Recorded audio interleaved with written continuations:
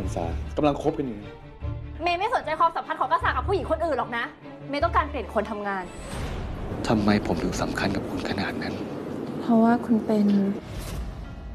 หนึ่งแสนคุณก็แค่เล่นละครกับผมไม่กี่เดือน พองานจบสองคนนั้นแต่งงานกัน คุณก็รับโบนัสก้อนนี้ไป ตกลงจะเป็นแฟนกับผมไหม สามีชั่วคืน คืนนี้สองทุ่มครึ่ง